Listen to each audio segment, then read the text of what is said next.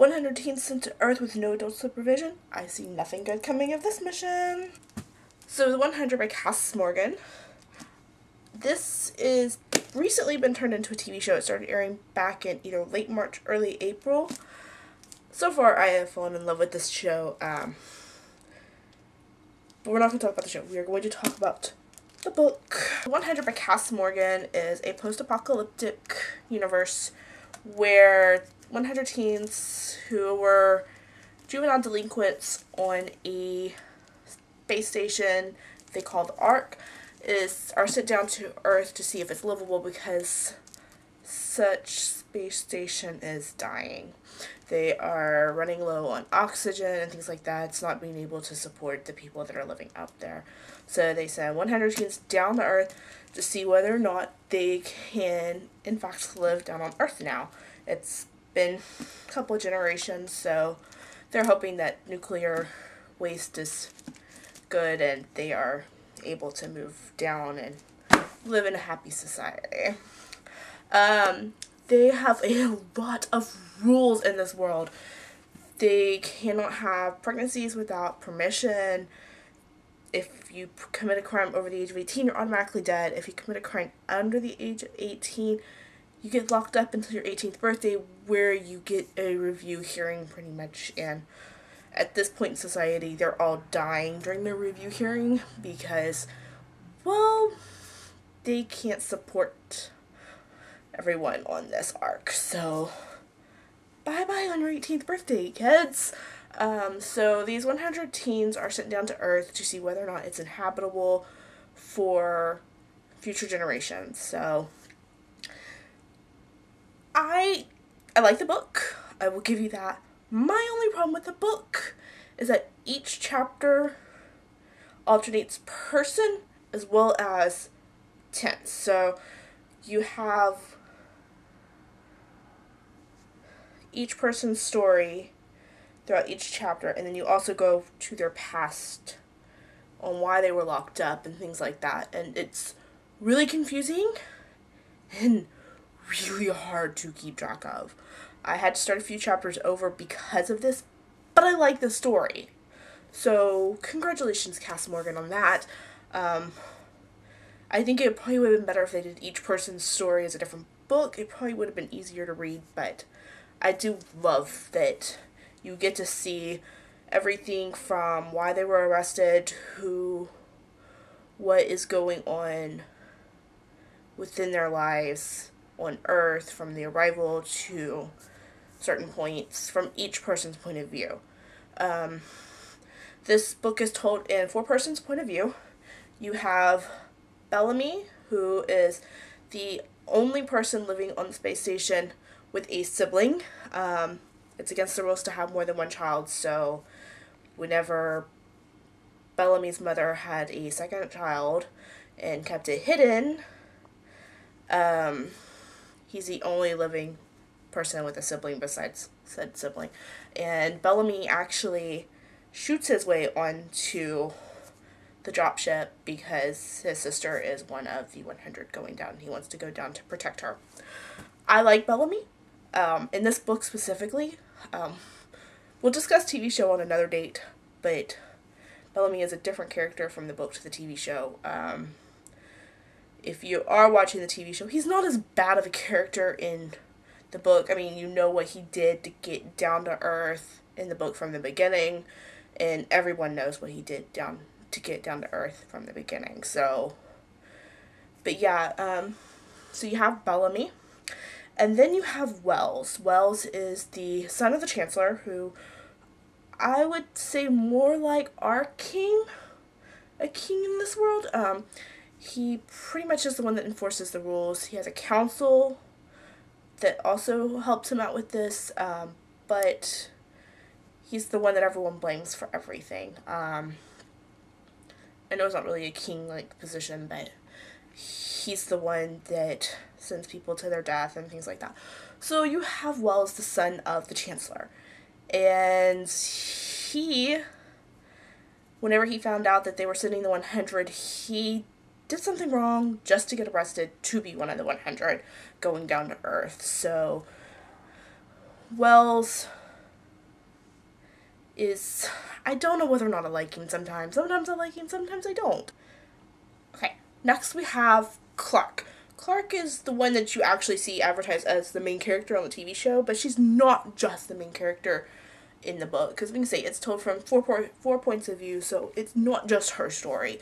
Um, Clarke's parents were arrested because they were testing radiation levels on children that were unregistered, those children that you were not supposed to have. Bravo, people! There's what your kids went whenever they were not registered.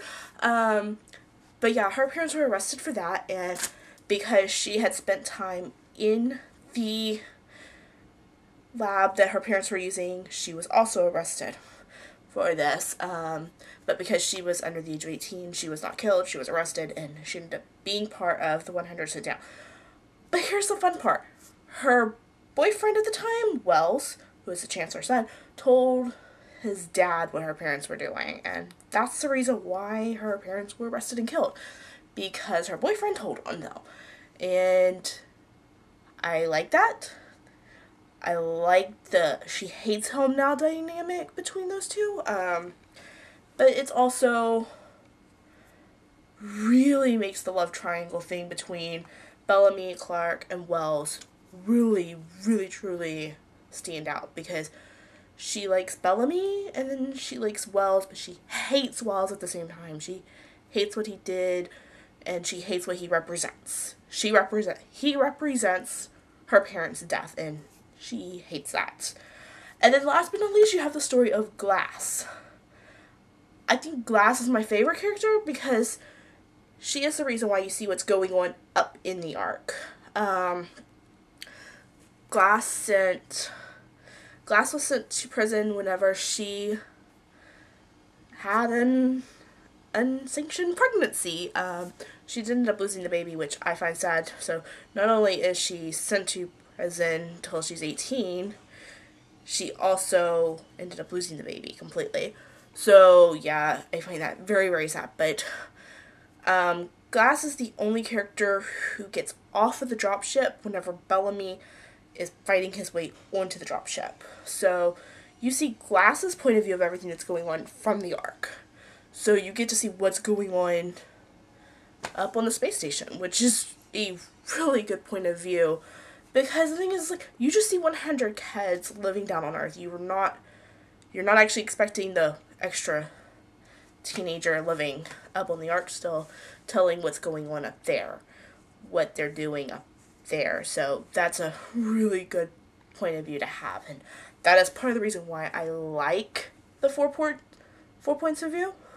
It does make it harder to read, but that extra point of view that they're giving you with this fourth one is a really good thing to have. Um, overall, this book is an amazing book. Um, I loved it.